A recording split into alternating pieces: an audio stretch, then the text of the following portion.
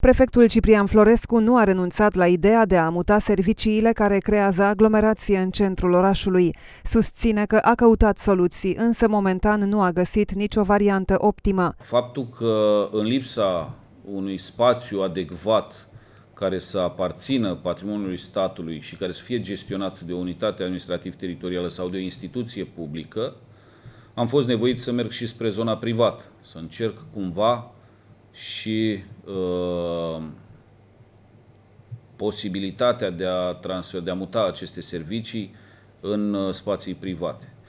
Latura privată este foarte complicată pentru că se solicită bani, evident, pentru chirii, pentru utilități.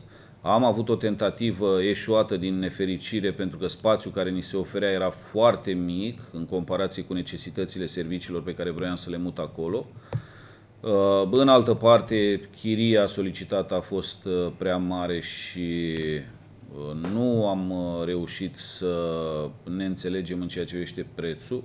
Primarul Marcel Romanescu l-a criticat pentru faptul că nu se implică suficient. Florescu susține că barierele sunt puse chiar de municipalitate. Discuțiile pe care le-am avut, pe care le-am purtat de-a lungul timpului în ceea ce privește transferul unor instituții sau mutarea unor instituții și a activităților către periferiile orașului, așa mi-am dorit inițial, sau către alte locații mai, uh, mai puțin aglomerate din uh, municipiul Târgu Jiu, Uh, toate aceste discuții, spuneam, pot fi împărțite în două.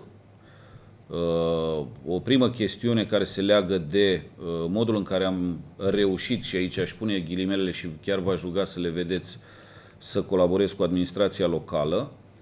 Și doi, faptul că în lipsa unui spațiu adecvat Ideal ar fi fost uh, să fie identificate niște imobile care să poată să găzduiască și să primească aceste servicii fără a fi făcute mari lucrări de abilitare, care, vă repet, costă foarte mult. E vorba de miliarde de lei vechi. În acest moment noi nu avem posibilitatea să achităm astfel de sume sau să uh, dezvoltăm un astfel de proiect de reabilitare a unei clădiri care este a primăriei municipiului Târgu Jiu, de exemplu. În centrul municipiului, în Palatul Administrativ, funcționează serviciul de pașapoarte și cel de permise și înmatriculări.